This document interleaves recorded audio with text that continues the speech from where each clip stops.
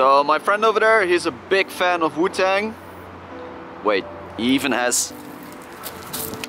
He even has... A tattoo. Sorry for interrupting.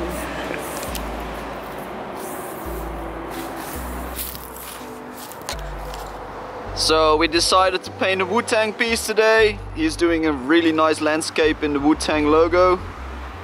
I did the letters and we're gonna do a little bit of the landscape on each side of the piece as well, on the left and the right. So it's gonna be a really nice piece I hope.